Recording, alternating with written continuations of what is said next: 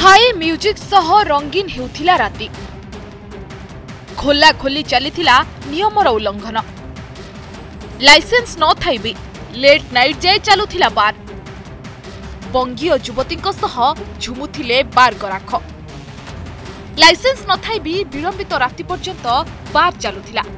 ଉଚ୍ଚ ବାଦ୍ୟଯନ୍ତ୍ର ଓ ନାଚ ଗୀତର ଆସର ପାଇଁ ରଙ୍ଗୀନ ହେଉଥିଲା ରାତି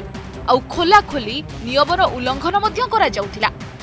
এভাবে অভিযোগ পাইবা পরে মঙ্গলবার কটকর ফ্লাইং স্কোয়াড ইআইবি ও ভুবনেশ্বর অবকারী টিম রাজধানীর বিভিন্ন ড্যান্স বার উপরে এককালীন চড়াও করছেন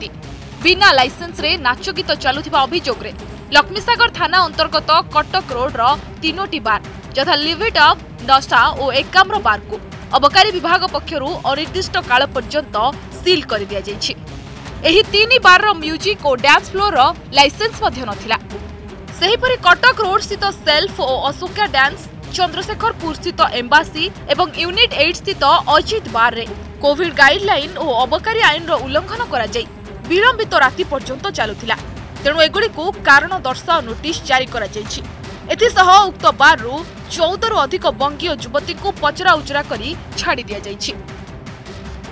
ব্যুরো রিপোর্ট ওড়িশা রিপোর্টর